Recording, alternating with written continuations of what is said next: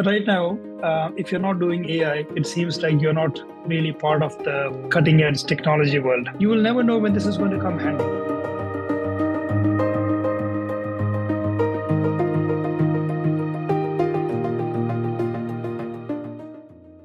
Welcome to CIO News. I am Simran Shiwalkar, a journalist at CIO News and your host for today. This session is being recorded and it will be available on our website cionews.co.in on our YouTube channel and our LinkedIn handle as well. Today we are back with yet another episode from our exclusive series called Voice of CIO and we are joined by Dr. Prince Joseph. He is a group CIO at SFO Technologies, an award-winning business technology leader known for driving digital transformation across diverse industries. With expertise spanning ERP modernization, AI adoption, in manufacturing and a robust background in cybersecurity and enterprise IT, Mr. Joseph has earned acclaim for his strategic leadership and innovation in leveraging emerging technologies to enhance operational efficiency and customer experience. Mr. Joseph, thank you so much for being a part of the series and joining us today. Thank you, Simran. It's a pleasure to join, and uh, thank you for having me. Not a problem, and uh, thank you once again. As I said, thank you uh, for thank you for agreeing to do this with us. That being said, uh, uh, as I already said, a remarkable journey. Your career spans from different industries like hospitality, manufacturing, and IT. With such a diverse experience, can you share a bit about your journey and you know take us through your role, what's involved in you know everything? That's going to be quite a walk back on memory lane for me the um, uh, whole concept of, of looking at things with the mindset or the perspective of a CIO, um, that started in my that started to, to get into my my consciousness. I think when I was in Emirates, when I was working in the Middle East with Emirates Airline, there was a point of time when um, uh, post a major process transformation, uh, we had set up the whole IT organization to be distinct where we had uh, made a move to make it more aligned to the business, closer to the business. Uh, a true business IT alignment was something that was sought after. And I had a, a, chance to play the role of a business IT manager, and the business IT head, was playing the liaison between a particular business unit and the IT division. So at that time, you start thinking about all the uh, requirements that the business has in terms of how do you support the strategy? How do you start looking at the programs that you've got for the year? How do you start uh, really considering things which are uh, capex in nature, opex in nature, strategic in nature, operational nature, tactical in nature. These kind of things start coming into you, and you start evaluating things. But you start assessing things uh, in a different with a different lens. This this experience um, from then on, you start looking at every new initiative with uh, with a whole new um, whole new understanding and respect. And also you also filter out many things. And when you know that uh, some things need to be supported you are now in a position to support that initiative. When some things are being discarded because it's not uh, justified the right way you are now in a position to go and justify that.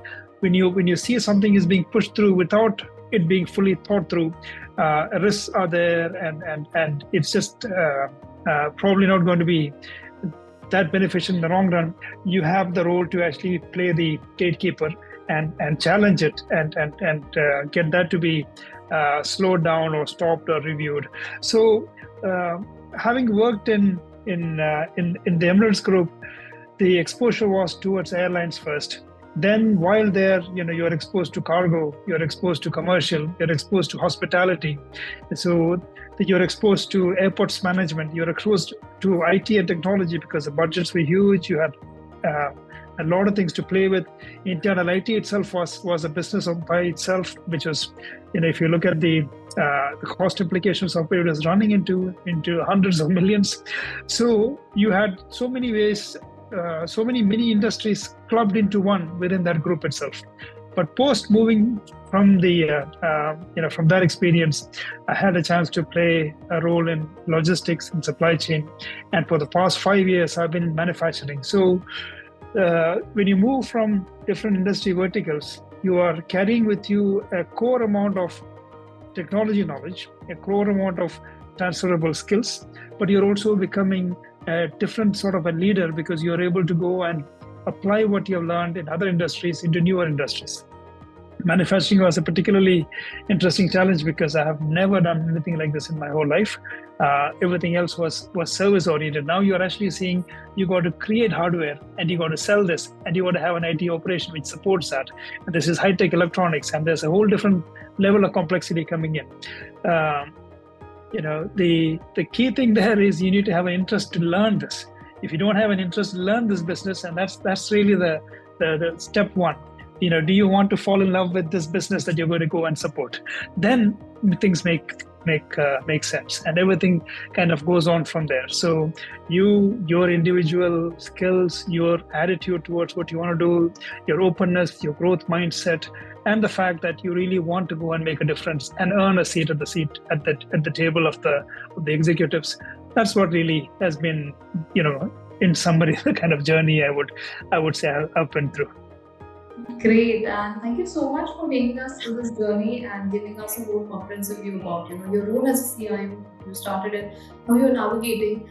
Uh, on the same lines, you also emphasize on you know high performance teams. So uh, i just want to understand from you are there any particular uh, things or any qualities you look for when assembling teams or uh, how do you encourage or foster this you know team collaboration this is also an interesting question because if you were to go and pick a team and if you were to look at how teams are picked if you look at uh, um, you know one of the analogies i would i would draw is um, the best football team and if you put all the best football players together, do you go and win the World Cup? You don't. Uh, there's a there's a whole different uh, way to manage it, and you get the team to perform because everybody has got to have a different uh, has has to to have the right role to play, which is suiting them, which is their skill, which is also something that they're able to to immerse into. Uh, many a times you are inheriting a team. Many a times you are um, there are there are very few times you actually form a brand new team yourself there's always something there and you want to nurture that you want to you want to grow on that so what i try to look for is you know there are when, when you inherit something there are always um, members who who have the solutions in their head you know who are actually having the skills that you can really build on the the, the biggest uh, success for a leader would be to figure out how can you figure out who are the right people to take along with you for the journey? What are the gaps that we have now? What's making them, what is stopping them from achieving bigger things? And to figure out the, the, the people who are putting the brakes on all of this. So uh, that part is difficult, but th- there will be, and th- that's not going to be a large number. It could be just one or two persons who actually are creating a whole lot of, of pain. The moment you figure out you know this is what you want to build this is what you want to help sustain this is the gaps you want to fill and this is what you want to weed out uh, you got to really put in motion. How do you achieve that? Uh, there are things you can do very technically in terms of skill development. There is things you need to do as a leader where you're showing that you are also very involved in this initiative. You are very interested in the outcomes of this. You are part of this. And and i typically keep my door open. Right now it's closed because i don't want anyone walking in because of the interview but otherwise i keep my door open and that's how it's been all along. And that is something which is, is something you know i'm not going to say everybody has to do the same way because everybody works in a different sort of energy uh, everybody works in comes in with a different sort of personality. Um, i prefer to listen to people as they come in and tell me stuff and then i'm able to work with them to see what needs to be done. Uh, there are times when you know there are leaders who will come in and, and tell you what needs to be done. And and depends on uh, an analysis you do of the people. Uh, largely when you find that you're working with a lot of introverted people then you try to get the uh, thoughts to come out through writing. You know you put across things where you say well fill this up and let's talk about it. When they fill it up you're actually now able to see a lot more. Because if you say sit here now talk to me tell me about this you may not get much. So there are different ways to you you can approach different people and you can get different outputs. So for me the the main thing is give this the, the, the team that you're working with a sense of purpose because that's important for me as well. I'm deeply interested in the outcome of, of this initiative. And from there, everything starts. And then you got to see, you know, if, if I'm if this is going to be successful, I'm going to make sure that you're going to be successful in the next stage of your career as well, and demonstrate that because we're not doing small, you know, short-term stuff. You're doing stuff which keeps on going every year. You got to demonstrate that in the appraisals and the reviews and the uh, uh, and how you take care of the team. And and when that becomes uh, uh known, I think it gives out the the aura that people want to stay work with you and they want to grow and develop and they see that it is possible it happens. So those are the things that i look for and, and i try to follow. Uh, there's a lot more in people management that you can talk about people follow. You know the, the matter of the most essence is can you really uh, get this person to join this mission with you? And what confidence do you have that that person is on the same mission? And that's the gap that you need to fill. The moment they're on the mission you know the whole journey is going to be so much more easier for everybody. Absolutely. And thank you so much once again for answering that uh, again, uh, coming back to remarkable experience, I would uh, also like to understand from you uh, what are some of the biggest challenges, according to you, when it comes to implementing new technologies like AI and cloud? Uh, you know, anything that you have particularly found out challenging? So, you know, right now, uh, if you're not doing AI, it seems like you're not really part of the cutting edge technology world so you got to be doing AI of some sort. It was the same thing when cloud came out as well. But cloud had a different appeal because you were trying to say that you know you're trying to move the funds in such a way that you don't have to invest. It's going to be opex, and that's uh, that was a different sell. But there was also other challenges in there.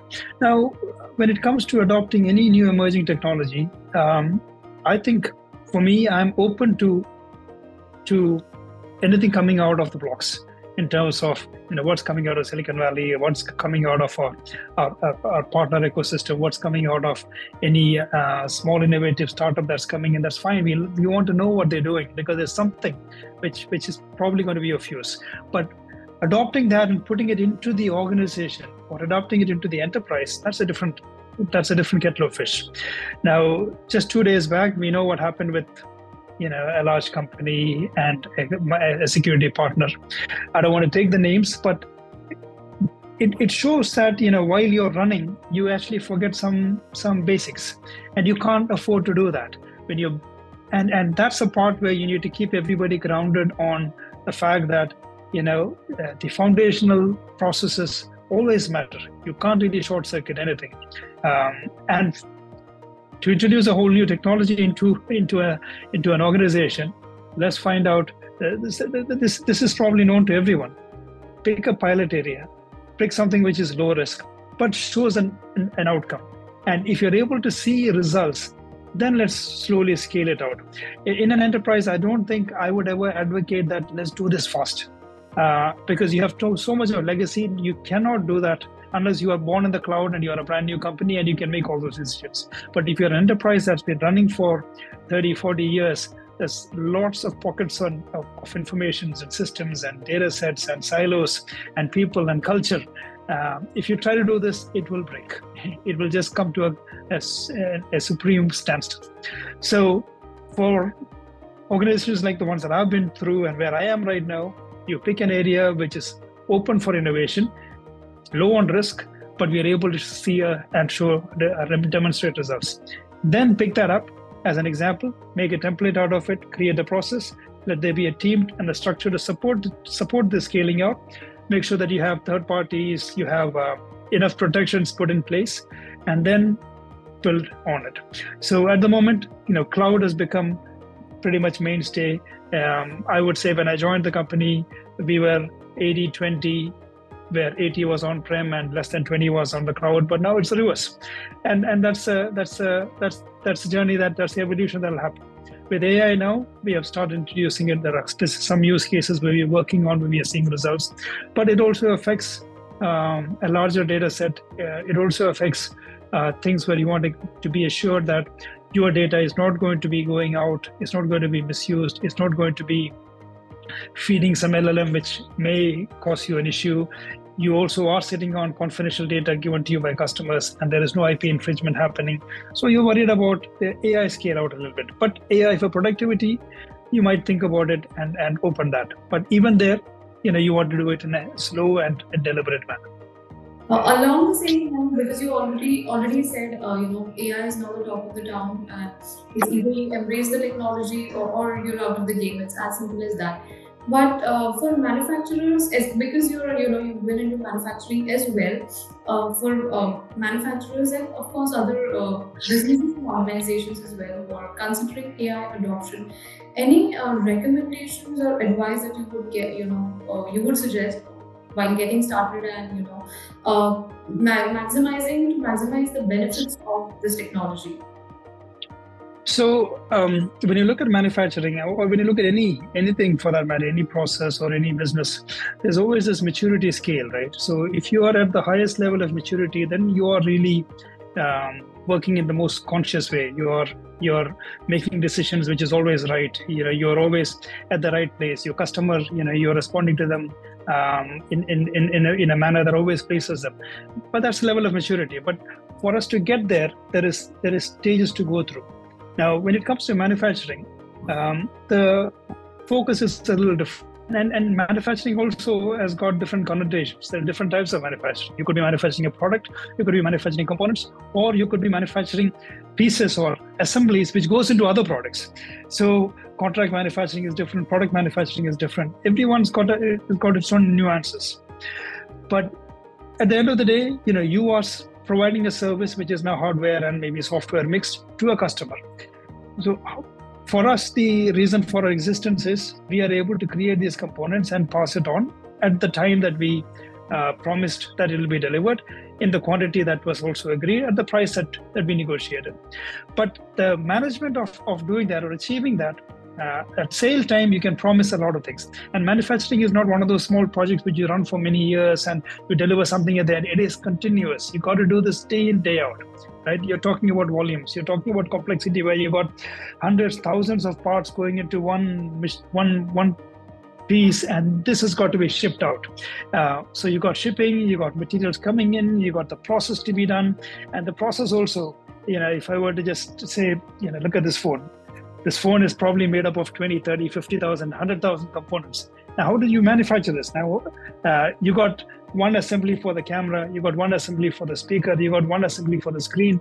And each one is a different project by itself, and it's all coming integrated integrated into this into this package. Nobody appreciates this, but the, there is a lot of complexity that goes into manufacturing this. Now, if we are a business that's doing a phone, an MRI machine, um, a missile guidance chip, um, energy meter, thousand different products, then you're dealing with a different sort of, of, of challenge. So in manufacturing, what you want to try and do is the most important thing is I've got capacity. Uh, now I'll, I'll, relate it to a hotel and, and an airline. Hotels got rooms, airlines got seats, right? And today the airline has taken off with five empty seats, means that's five empty, that's five seats that's not going to give you any revenue ever. That's lost forever. The same thing with the hotel room. If, if you have 100 rooms and you're only, tonight only 80 are occupied, those 20 rooms you have lost revenue and that is never going to come back. Tomorrow it's a whole different day. It's a whole different challenge. Now, for me, I've invested in machinery, plant, factories. So SFO and Nest, we've got 28 factories worldwide.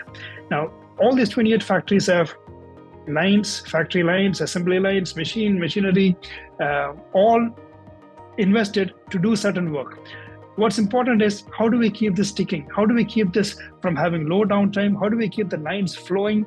How do we make sure that the output that we produce is going to be the maximum? That's really the, the purpose of the machinery and the plants and the people around it. So that your business development will want to make sure that they bring business in so that you keep this running. Your operations guys will want to make sure that whatever business we've got, we are delivering. You know, your supply chain will, team will have to have the responsibility to make sure that all the material needed for the plant is brought in. And all of them are relying on your systems, on on, on, on data, on, on ERPs and on different disparate systems. They all need to come together. So this single uh, objective can be met that we keep the plant running. And the plant keeps running. So if the plant keeps running, the customer is happy, we make money, everybody is doing their part in this whole chain. So where does uh, you know AI or, in, or, or the data management analytics comes in? It's huge. The play the, the role that it plays. They got pockets of data from customers, our own silos, our own different factories. We got 700, 800, or 1,000 plus suppliers who are giving us data. We got to have our own processes to be analyzed. We got to look at the shipping schedules and logistics parts to be analyzed.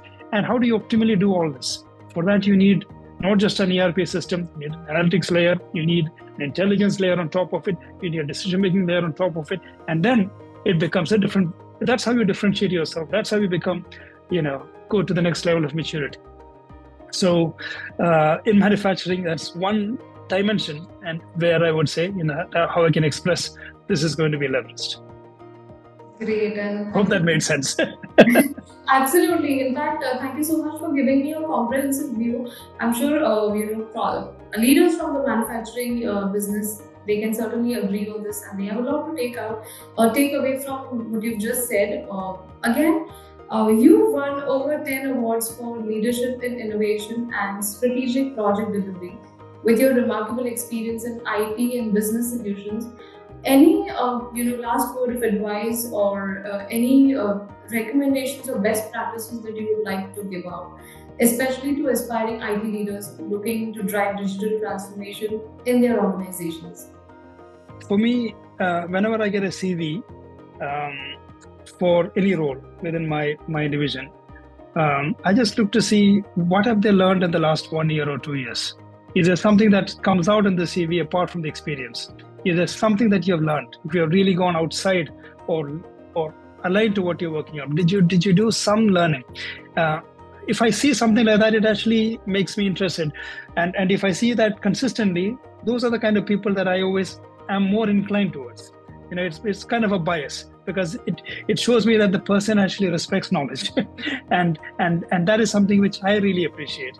Um, for me too i think uh, you know the the conferences that we attend, the um, um, interactions that I have, the kind of places where I allocate time. I also want to make sure that, you know, maybe it's not courses and certifications per se, but there are things that you do where you're actually now trying to gain knowledge from people who know things better than you. And, you know, yesterday was Guru Purnima. And, and it's also a good way to, to, to acknowledge, um, you know, you're part of so many forums um, you're hearing wisdom from a lot of people.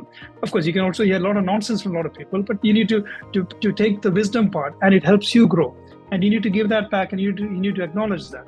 Uh, when I'm looking at my own team, what the advice that I would give is, please seek wisdom, please seek knowledge, continue to learn. You will never know when this is going to come handy. I never imagined I'm going to be sitting in an industry 4.0 high tech factory trying to drive this plus digital services for this kind of a firm. I was, I began my career in, in airlines and I was thinking I will do that. And, and right now it doesn't matter. I can move to any industry and I'll be able to, to make sure I can have an impact there. For that, you need to keep on learning. You are that is one part. Second part is I think you know uh, trying to apply a lot of these very standard management principles um, is is is not really something that I'm and I'm, I'm going to be able to say a lot of positive things again for. The, the most important thing is, uh, and this is coming from a, uh, a blog I just read the other day from a, a mentor of mine, where he said, you know, he has seen results when he is in love with the project. Now, I don't want to use the word the wrong way and give it the wrong connotation, but the thing is, you would really want to be so interested in getting this to work that you know this is this is uh, this is treated with a lot of care, a lot of sensitivity, and you're always switched on. Your antennas are always alert to anything that's happening in that space. So, if you want something to work out well, you have to get involved. You have to get engaged to a very very deep level you know it, it, there are some uh, it's probably in the vedas and whatever it says whatever you're doing do it with all your heart. Only then it will mean something. Otherwise you're wasting your time you're wasting everybody else's time. So that's the second thing. Again it's related to knowledge but it's application of knowledge. The third one is showing an attitude that you want to go in there and, and make a difference.